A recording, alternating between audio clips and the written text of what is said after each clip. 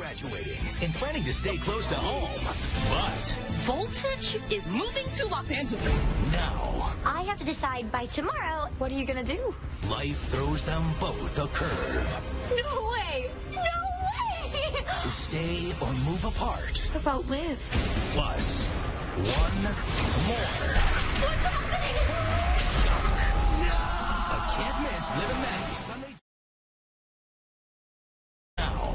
Have to decide by tomorrow, what are you gonna do? life. Liv and Maddie are graduating and planning to stay close to home.